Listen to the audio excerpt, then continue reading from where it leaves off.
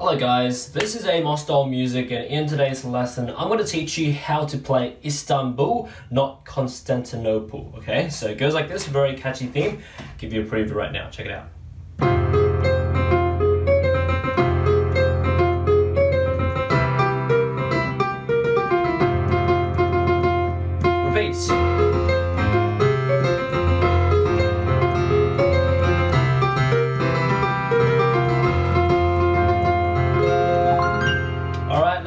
Into it. So here we go, very catchy theme. All right, the main thing is the right hand is very jumpy, so that's probably the main difficult part of the lesson. But anyway, do it very slowly, then practice um, building your speed up. But anyway, so here we go. Let's go ahead and break it up into a few parts to learn, so it's easy to learn. Let me see.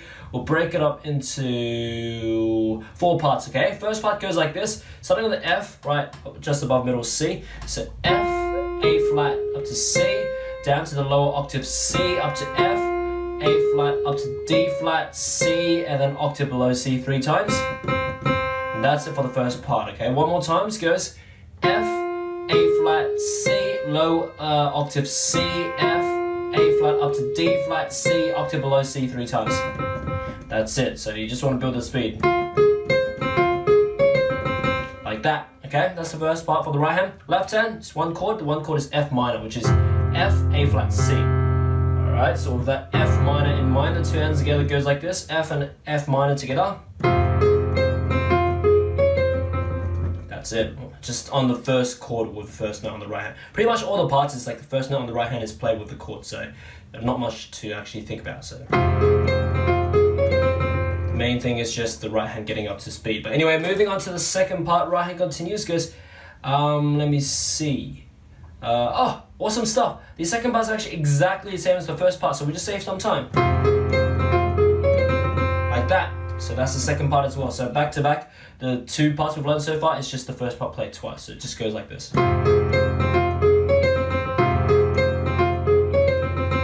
However, moving on, the third part is different. It goes to E, flat, down to C, E, G, B flat, B flat, G, F, E, like that. Okay, one more time. So it goes like this, goes E, G, B flat, C, E, G, B flat, B flat, G, F, E. That's it for the right hand. For the third part, left hand, different chord as well. It's C major, which is C, E, G. Fully white note chord, okay? Easy to remember. With that in mind, turn together goes like this, the same thing. First note on the right hand with the chord together. So together. Like that, simple stuff. So together. That's it. So back to like the three parts we've played so far and learned so far we'll be playing like this. Check it out.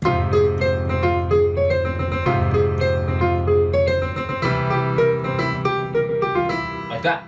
Moving on to the fourth and last part, right hand, it goes all F. So it goes F, F, F, F, F, F, F, F.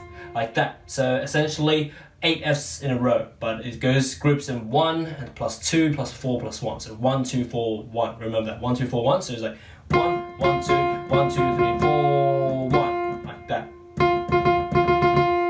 Yeah, because it's easier to remember that way. So one, two, four, one. That's just like groups. So like one, one, two, one, two, three, four, one. Like that. That's the right hand. Left hand just F minor, which you know, F, A flat, C. So two hands together, same thing, first note and the chord together. Together. Like that, easy, just together. And that's that. Back to back, all four parts we play like this, and you just loop it. Very catchy.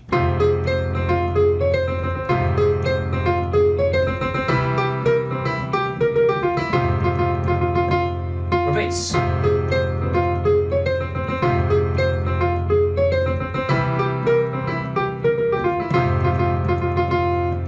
Yeah, that's it. So once you get all the melody and chords all good, you can start to add other improvisations to make it more bouncy. Left hand can do like octave, rhythmic patterns, arpeggios, that kind of thing. Okay, so you'd be like.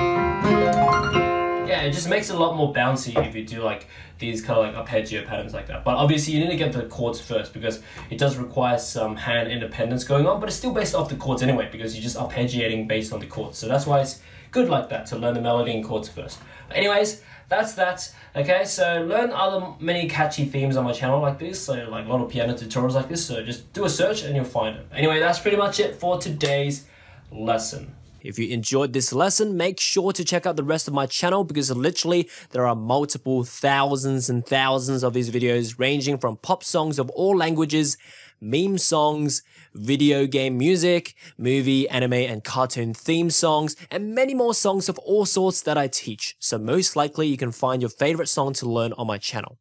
Also check out my website, bestpianomethod.com, linked in the description below if you want to learn more piano from me.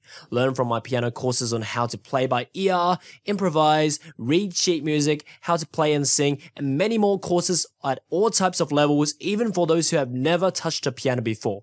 As for now, enjoy your time around my channel and see you next time.